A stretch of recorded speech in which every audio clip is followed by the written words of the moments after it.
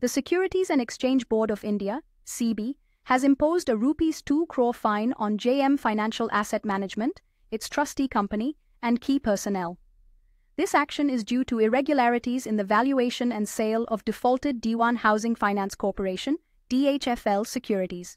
The fine aims to address and deter unfair trade practices within the mutual fund industry. The investigation highlighted an unusual surge in the net asset value, NAV, of certain JM financial mutual fund schemes following the sale of DHFL securities.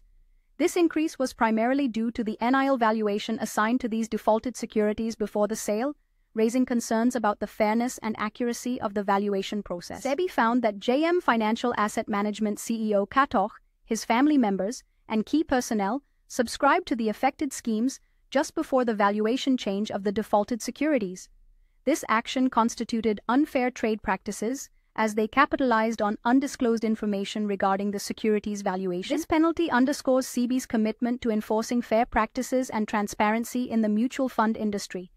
The regulator's actions serve as a deterrent against similar misconduct, reinforcing the need for integrity and investor protection in financial operations. Investments in securities market are subject to market risks.